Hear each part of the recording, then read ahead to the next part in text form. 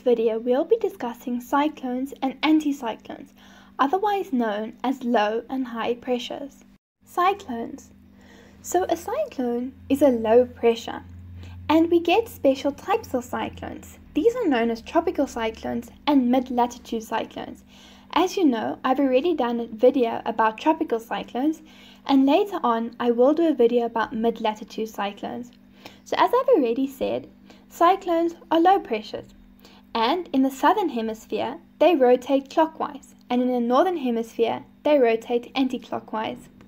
Air converges towards the center in a spiraling motion. This is due to the Coriolis force.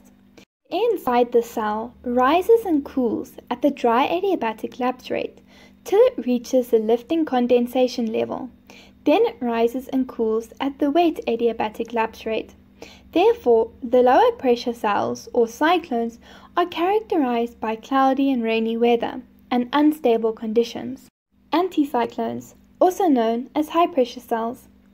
They rotate anti-clockwise in the southern hemisphere and clockwise in the northern hemisphere.